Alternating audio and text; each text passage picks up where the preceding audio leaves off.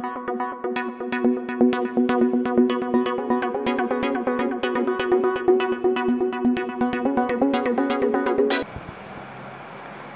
friends, this is Priyanka. Today we are going to solve a problem on solar flat plate collector. So first I will read what is the given problem. Estimate the temperature rise of water in a 100 liter capacity thermosiphon solar water heating system during typical day of operation. Estimate also electricity saved because of solar water heater and corresponding reduction in monthly electricity bill. Given data collector with absorber plate area 2 meter square solar radiation falling 5 kilowatt hour per meter square collector efficiency 50% specific heat of water 4.2 kilojoule per kilogram degree celsius. Geyser efficiency 95% cost of electricity per unit 3.50 rupees. Initial temperature of water 20 degree celsius. So this was the given data now let us first understand what is the thermosiphon solar water heating system. So if we observe this diagram here there are two main parts that is the storage tank and here is the second is the flat plate collector. Now if we observe this diagram the cold water enters at the storage tank and then it enters from the bottom of this solar flat plate collector. Now what is the function of this flat plate collector? It absorbs the solar energy and then the water is getting heated. Now when this cold water is getting heated then its density becomes lower and then it moves to the upward side. Now when the temperature increases then the water moves to the upward side and then here from this top pipe it enters to the storage tank and here from the top of the storage tank here the water is withdrawn for the use and this water is the hot water. So this thermosiphon system means what? Because the flow of water is natural. When the cold water enters from the bottom to this flat plate collector then the hot water because of low density it enters from the top to this storage tank. So this uh, water flowing is in the natural way. Now we will understand what is the given data and which factors we have to find out. So if we observe the given data that is the water quantity that means there is the total water quantity that is 100 liter then the collector with absorber plate area. So this flat plate collector is having the absorber plate that is the area for which the solar radiations are getting absorbed 2 meters square. Then solar radiation falling. So what is the rate of solar radiation falling? So for 1 meter square it is 5 kilowatt hour. Then collector efficiency. So this collector efficiency is given that is 50 percent. Then specific heat of water that is 4.2 kilojoule per kilogram degree celsius. Then geyser efficiency. Now instead of solar water heater if we move for the electricity then we will use the geyser and for that geyser that efficiency is given that is 95 percent.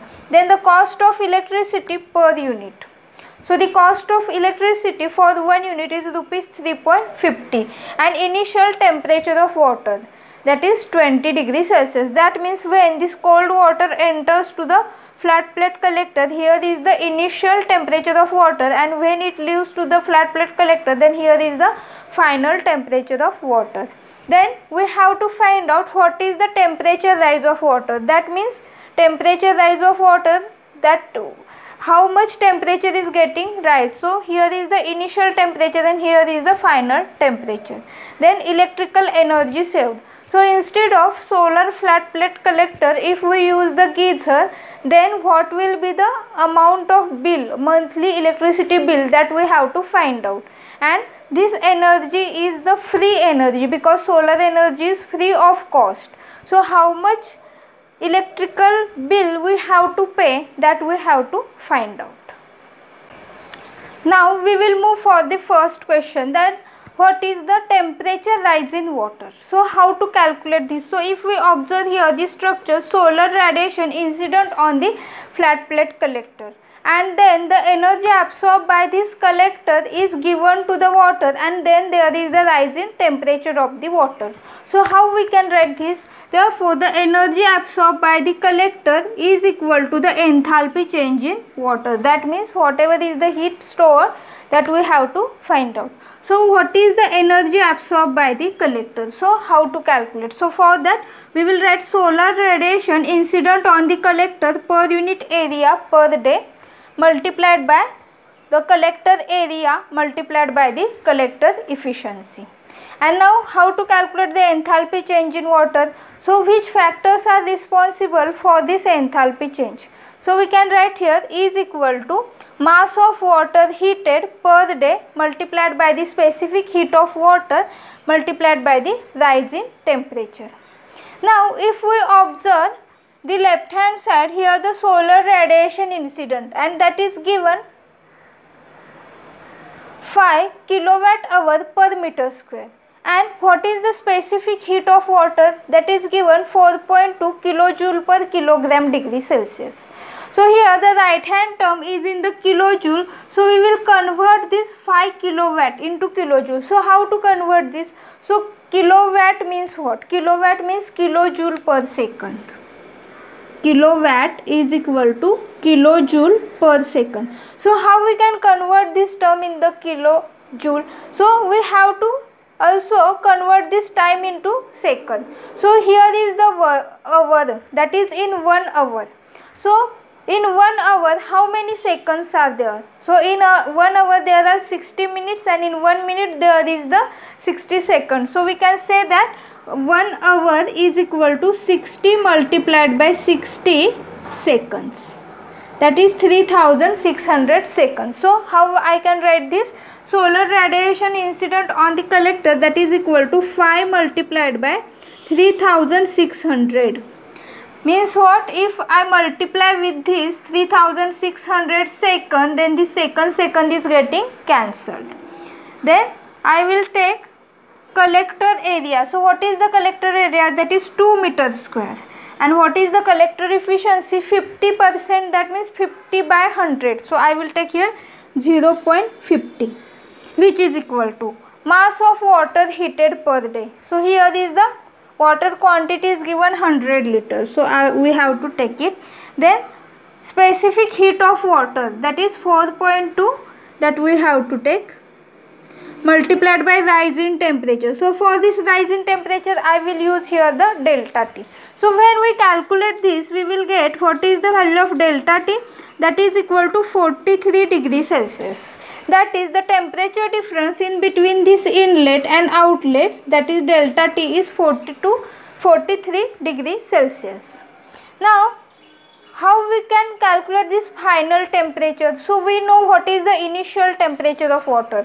That is 20 degrees celsius. That means ti is equal to 20 degrees celsius. Therefore we can say that tf that is final temperature minus initial temperature which is equal to 43 now we will put here the value tf minus 20 which is equal to 43 Therefore, final temperature that is TF is equal to 43 plus 20 that is 63 degrees Celsius. Now we will move for the second question. So second question is what is the electrical energy saved? So how to find out this? So for that that is for required output. So what is the output here? That is this change in enthalpy of the water.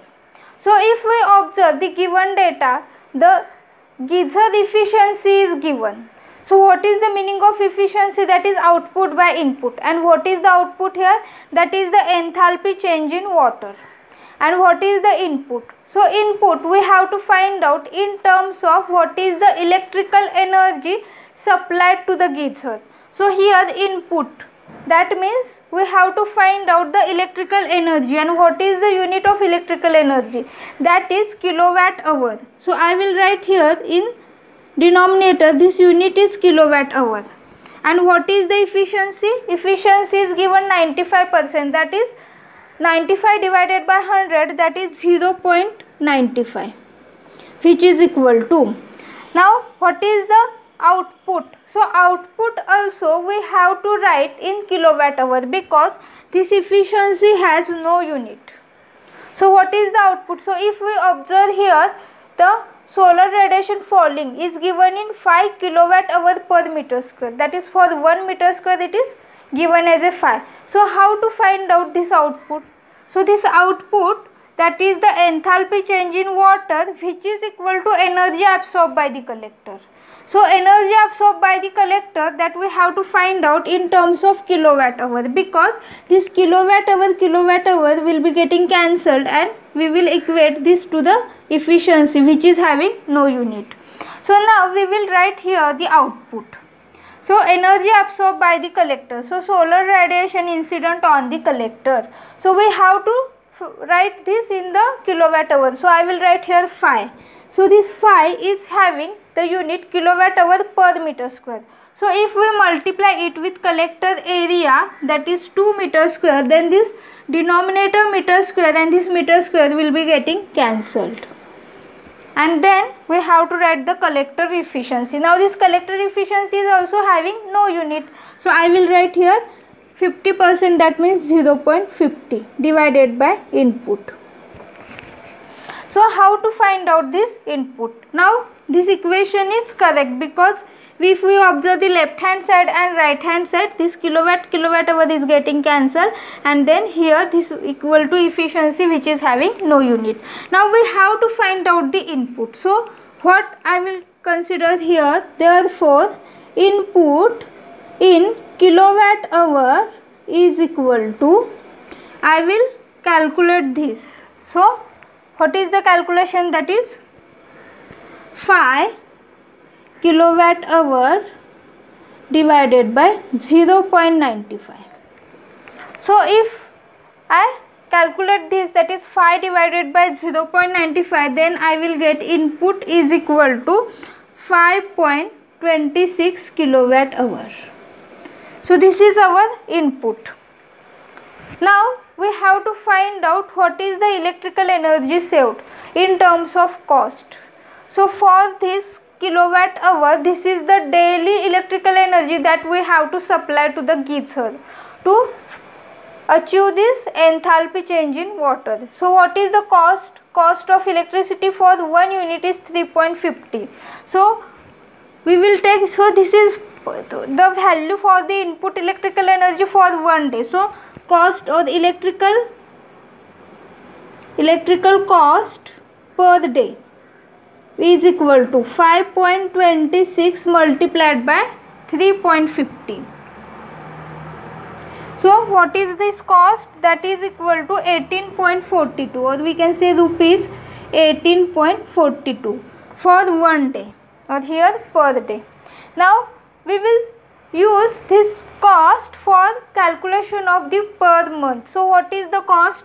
So electrical cost for the month cost for one month. That is equal to 18.42 multiplied by 30 that means in one month we will consider there are number of days 30 so which is equal to